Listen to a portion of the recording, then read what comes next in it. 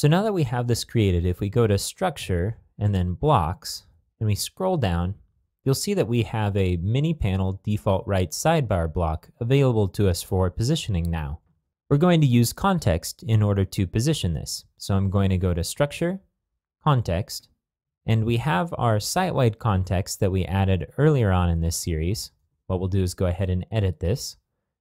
And again, this context is supposed to be active for any page on the site. Right now, if we go down and click Blocks, you'll see that what it does right now is display the system help block, the main page content, although this is a little bit redundant, and then we have search form, navigation, and user block over here on the left-hand side.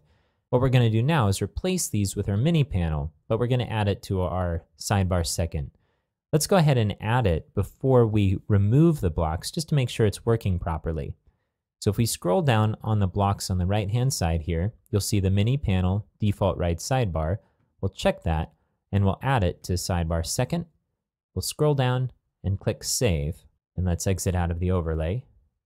And now if you scroll down, you'll see our search bar and our navigation displayed here within a single block. Now the idea here is that our mini panel is now a block that contains blocks. So we have the wrapper that we didn't have before. So now that we know that that's working, let's go ahead and hide our sidebar blocks over here and let's also hide one of these product blocks. We have two of them displaying here, but let's keep the one that's the result of a view that's based on products rather than the one that's based on reviews.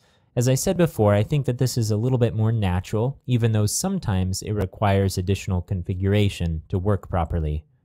First of all, let's hide these sidebar blocks. So I'm going to go to Structure and Context.